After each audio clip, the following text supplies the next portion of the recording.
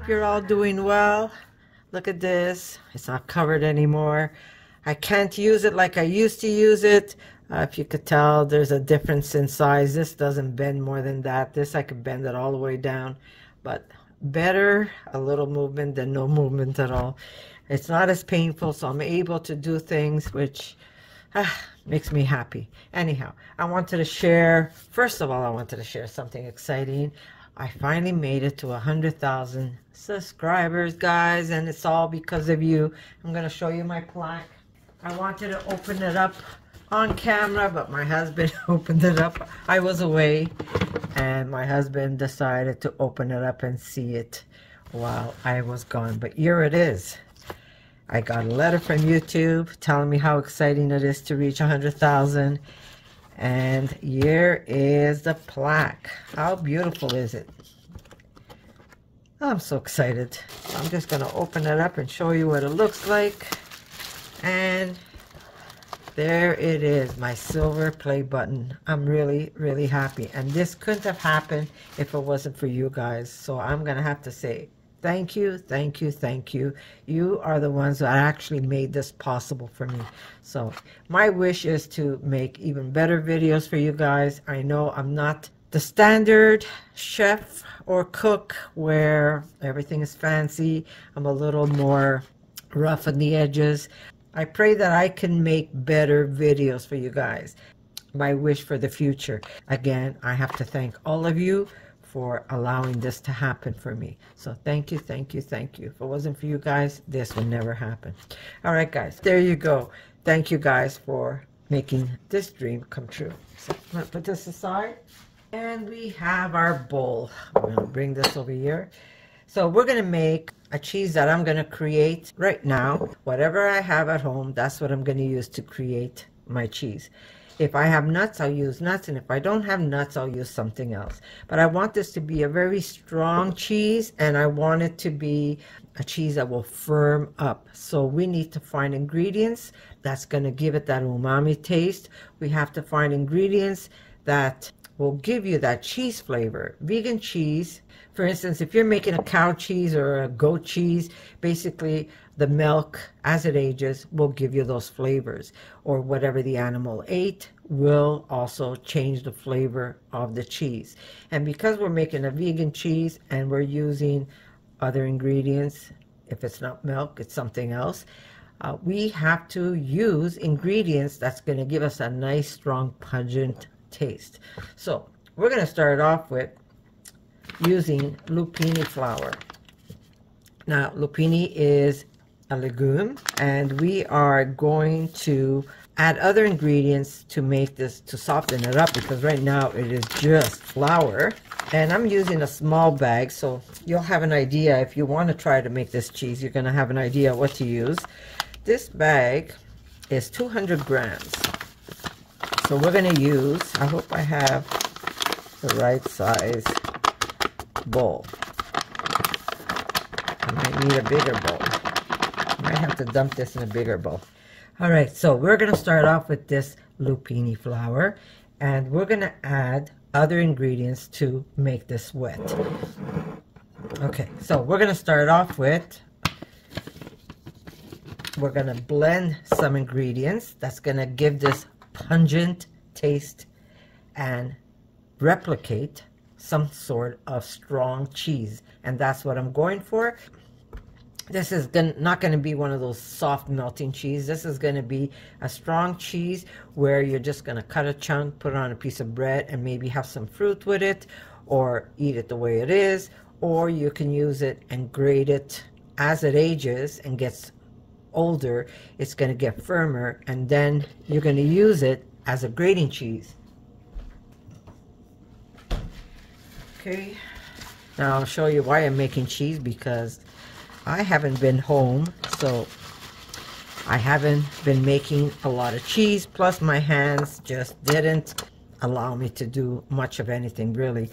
Anyhow, so I ran out of cheese. This is what I have left, but this is what I mean about as it ages, you are able to use this to grate onto pasta. So this is what my goal is eventually, but for now, when it's still nice and fresh, we could still enjoy it. So we need, and by the way, this is how I keep it in the fridge. Just in a paper bag, in a cotton sack, and as it dries up, you're able to grate it. Okay, you don't want to keep that wrapped up because then it's going to stay soft. Unless you want soft cheese on your pasta, that's good too, right? Okay, so we are going to use some ingredients that's going to help ferment it because we're going to leave this out for at least, I'd say 24 hours.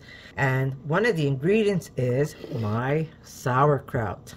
I make my own sauerkraut and this is like a probiotic and it's going to help this cheese. Number one, if you smell sauerkraut, you know that it's a nice pungent smell. So we're going to use, mine has a little bit of green in it because I also added some hostas in this one. But we want to put a nice amount because we're going to blend this up and we're going to add this to our cheese. Now, how much you use is really up to you. The more you use, the stronger the taste. The less you use, it won't be as strong. So here we go. We have, I would say, about a quarter cup if you pack it up. A very pungent sauerkraut, okay?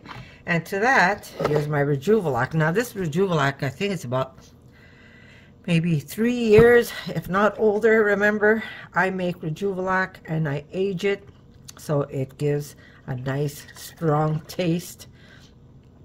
Notice the bubbles. That means, see the little bubbles? It's fermented. You could also tell my lid is ready to pop. And I'm going to use this thanks to my dad because I wouldn't be able to open it otherwise it should have almost like a lemony, it should not smell bad. You know if it's rancid. This has almost like a, a lemon cheese smell, if that makes any sense. And that's when you know you've aged it to perfection. Like I said, this one here must be at least three years, if not older. So I'm going to use a little bit of that as a liquid to blend it up.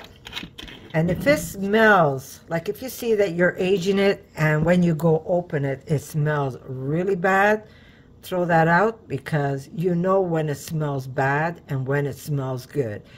Lemon and cheese smell is a good smell. It smells like food. If it smells rancid or almost like turpentine smell, you do not want to use that. So that you throw it out. But yes, you can age it. All you do is, well, I have instructions if you want. I have a PDF file that you can buy. It's not expensive. And if you buy it, you help support my channel. But I do have how I age my Rejuvelac. So if you're interested, you could pick one up and I do have some videos on how I do it. And I do use wheat berries. I tried quinoa. I wasn't crazy about it. I do stick with the wheat berries. I find that's the best way to make Rejuvelac. Okay, so pungent, right? We want a strong cheese. We don't want a mild cheese. If it was a mild cheese, I'd be using uh, solely nuts, um, and maybe a little bit of other, well, you'll see, I have lots of recipes on cheese.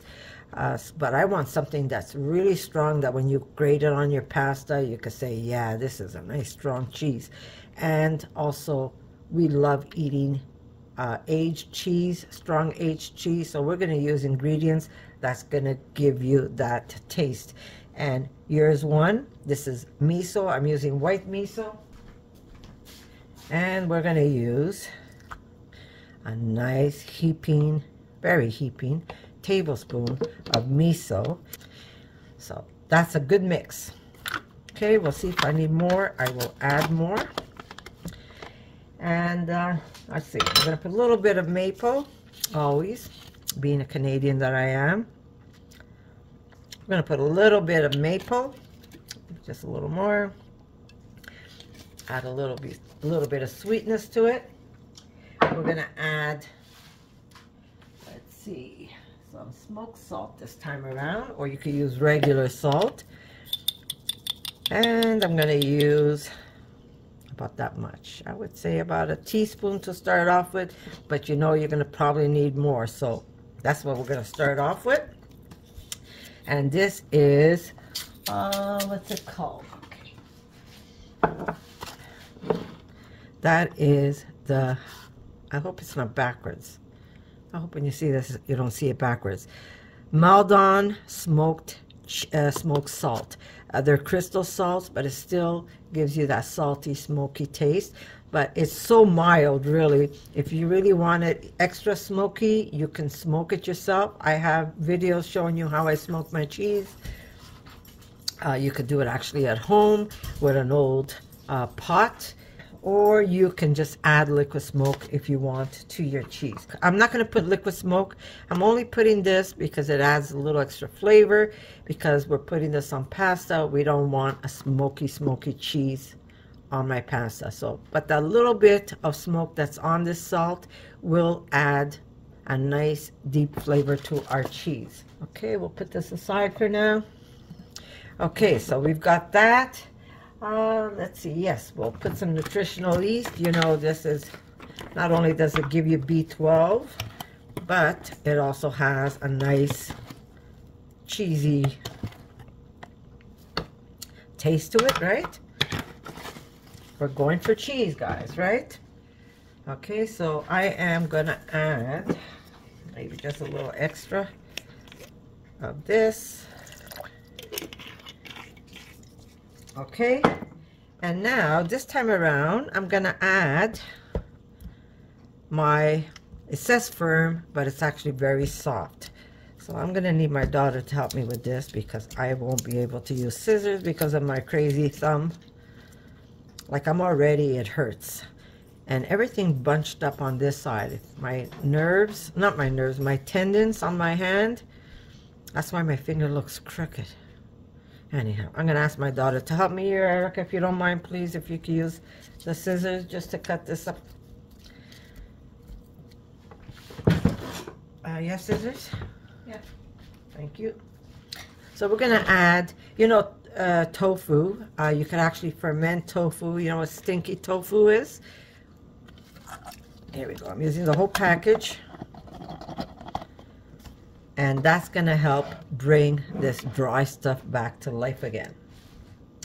Okay, I need my, here's my top, and we're going to blend this up and make a liquid. Sorry, I'm right up your face. Hey, I can't tighten this, Erica. Okay. Here. Thank you. Yeah, I'm going to get a different bowl because I'm going to probably need it. Okay, let's put this in here for now. And then we'll use this to put my stuff back in. Ah, here we go. See how I have to? I know. This is not some part of it. I have to grab it with this and just use the palm of my hand because this finger doesn't work anymore and I can't, oh, yeah, it's coming. Whole different way of using my hands. Crazy, it's driving me nuts. But I'm still able to grab things, which is a good thing. Sorry, I'm right in your face, eh? I'm sorry, okay. So the good thing is I'm still able to uh, grab things and something I wasn't able to do at all. It used to click you would just hear it. Oh, people used to freak out when I would move my, my thumb. They used to say, what is wrong with your hand? But it kept me from doing a lot of things that I like to do, which is cooking. I couldn't cut with my hand. I couldn't cut anything. Oh, I wish you could smell this already. Oh my lord, it smells like parmesan. Okay, I'm gonna need spatula. Now the good thing is that you can still keep adding ingredients to your mixture.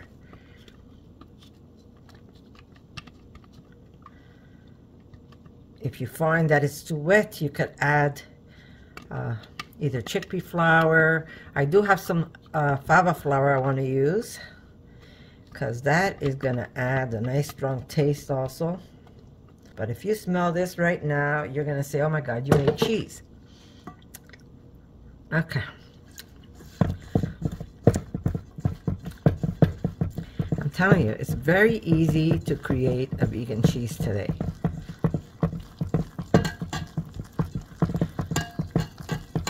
Now, this is why I say when I create something, I pretty much see what I need. If I need more flour, I add more flour.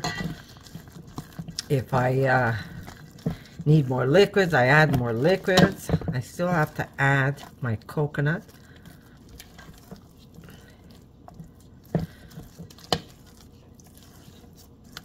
And I do like to use mm, you swear that this is cheese and all I did is use some ingredients that mimics the taste of a strong cheese.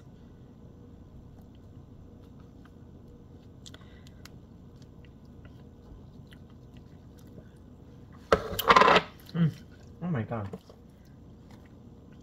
Okay, that is the size. So we know the size of the lupini bag. It was 200 grams. This year's 349 grams. This is shelf stable, so you could buy this and keep it on your shelf. It doesn't have to get refrigerated. Okay. So that's that. And then I used about a quarter cup of sauerkraut and a lot of white um, miso. I'm using the soybean one. You could get rice if you want, but I like that one. Okay, so here we go. As this sits, you're going to see it starts firming up because the flour starts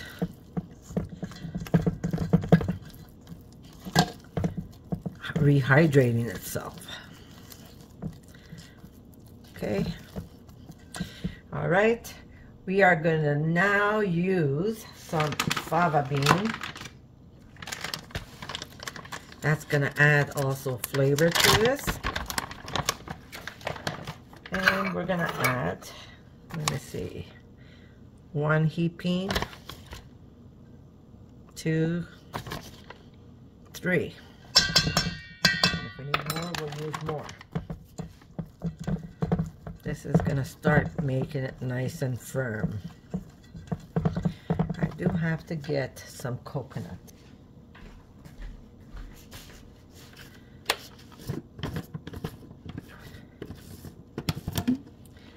Okay, so I am using uh, organic virgin, here it is. I'm using this, I, I get it at uh, Costco. If you're in Montreal, you know what Costco is.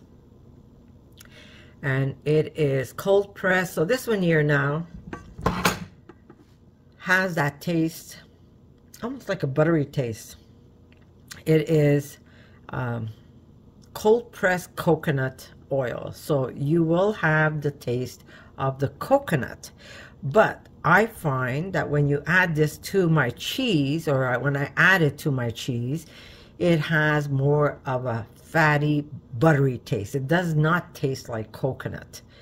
And if you've made my cheese and if you've used it, you know. Now, if you want your coconut oil to be uh, tasteless, you could get the refined one where there is no taste whatsoever. But personally, I prefer this taste because it adds a richer, more buttery taste to my cheese. So I'm going to take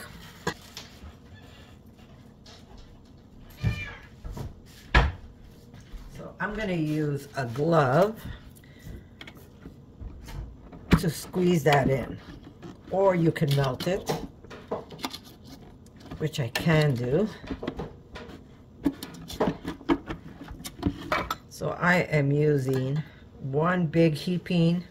That's, I would say, about a third of a cup of coconut oil.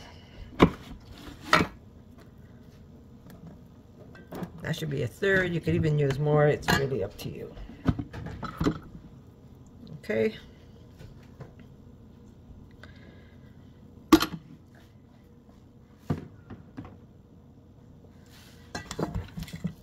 So I am going to just mush it up in there and if I have to I will use my glove.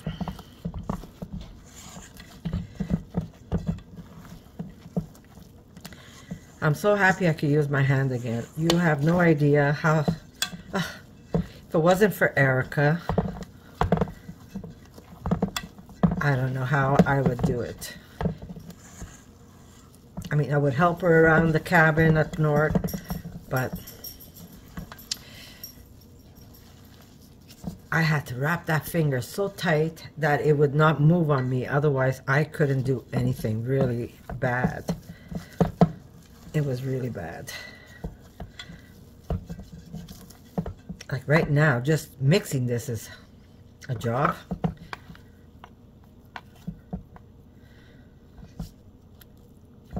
Just gets a little discouraging. But I have to say, thank God I've come to this point where I could actually do it. Okay, my hands are clean, guys. Don't freak out. I know some of you freak out on this, but my family's used to to me. But if you're squeamish about this, put on a glove when you're doing it. Okay, aside for now. And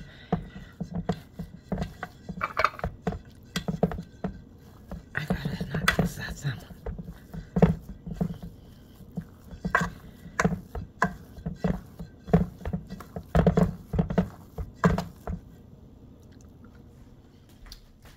Guys, this tastes just like Parmesan. It's like crazy wild.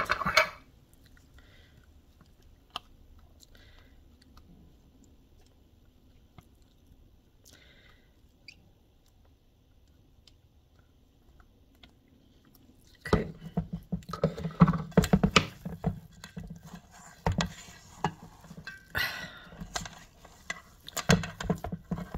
Now, if you have stinky tofu, you can use that. That's great because not only is it fermented, it's a probiotic. So you could buy maybe a jar of stinky tofu. Try and get the one that's not in like that hot pepper sauce uh, because that will change the color of your of your cheese. You want it to give it that Parmesan look. So it's almost like a golden look. Um, but it doesn't matter really. It's up to you what you want to grate on your pasta or what you want to eat. But you can use stinky tofu. That is really going to heighten that uh, the taste of your cheese. Okay, so now that coconut oil that I used, when you put this in the fridge, it's going to firm up your paste where it's going. Well, first, okay, let me do one step at a time. I'm always all over the place. Right now, we're going to put this on a bowl and we're going to put it aside and leave it out to ferment for uh, it's uh, what 10 it's 11 o'clock here in the morning so uh, 11 till 11 o'clock tomorrow morning. Uh, then I will transfer it into the refrigerator and then I'm going to keep it there as long as I need it to firm it up because that's what you need a nice firm cheese so you can shape your discs but this is already nice and pasty, so it won't take long to firm up. Plus, I use quite a bit of coconut oil. I have chunks of coconut that didn't blend up. So that's going to help with the process of shaping your cheese. I'm going to add a little extra fava flour. Like I said, I don't really measure, guys, so Look at what I do and try and repeat it. I promise you, you will not regret it when I tell you that. And this is what I'm using. You can't even see it anymore. It's fava bean protein. That's what I'm using. And you can find that on Amazon.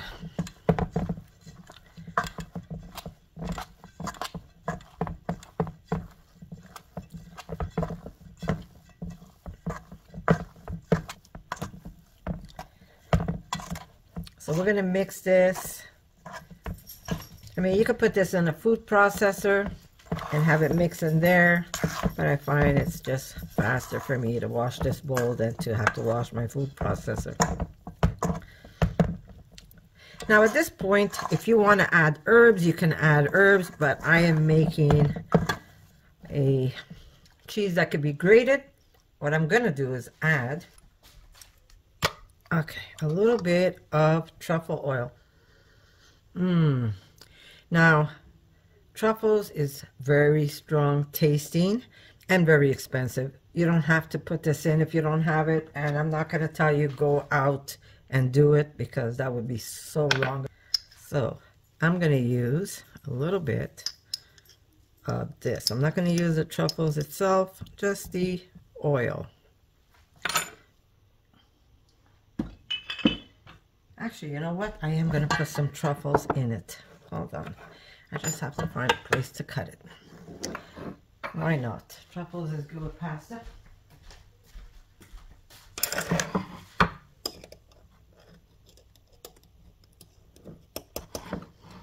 Look how small that is. There's like two little pieces of this in here. Isn't that crazy? To me, that's crazy wild.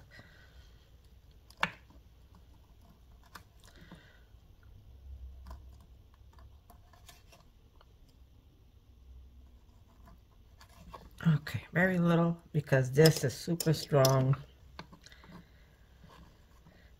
And if you don't like truffles,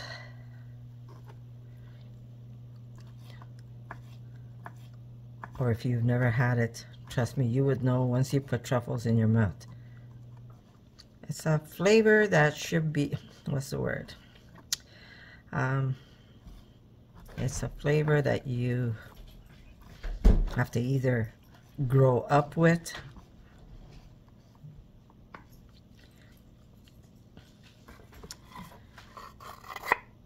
that goes a long way guys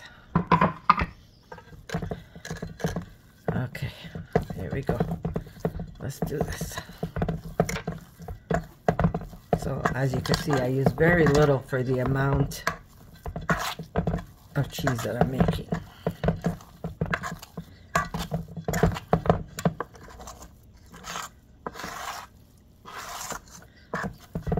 Okay, definitely need salt.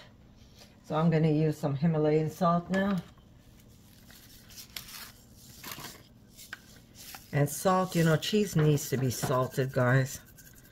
It's also a nice way to preserve it. And that's how simple this is.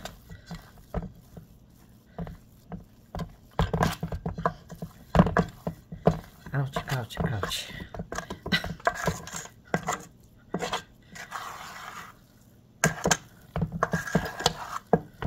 mm.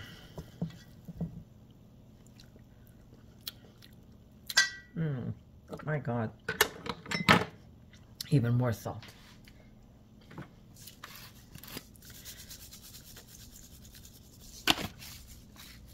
Just remember that when you do put salt, this is going to tighten up and the flavors are going to be stronger. So don't over salt it. Don't under salt it because whatever you do into this now, it's only going to be more intense later on. Okay. All right. This tastes like cheese already, guys. I mean, I can have Erica taste it, but you're going to say, oh, Erica's only saying it because you're her mama. But this, when I tell you it already tastes like cheese, it already tastes like cheese. Now, how many cheese am I going to get this? Maybe depends the size of the discs I'm going to make. I'll probably get four discs. I always seem to get the same amount all the time. But very easy, very easy to do, guys.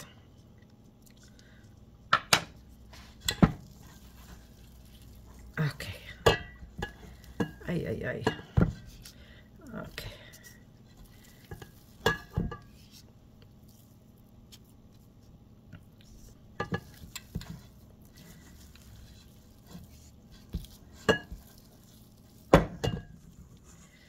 So that's how you make strong vegan cheese. You really have to find ingredients that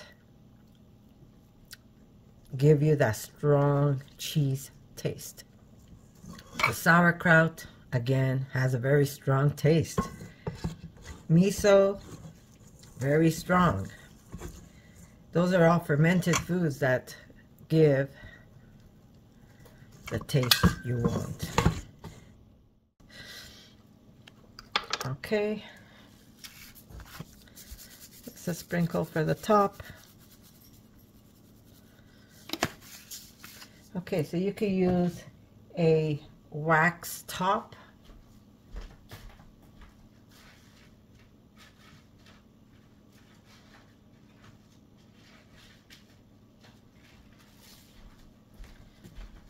I make my own. You can make these with soy wax.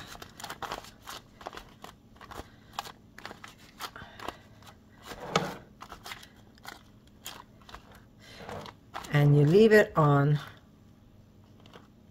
anywhere on a counter where you can have this ferment on you. I am going to slip this in a bag so that it doesn't, there we go,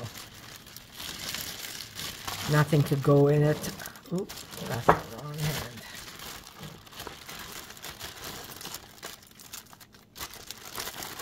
Okay.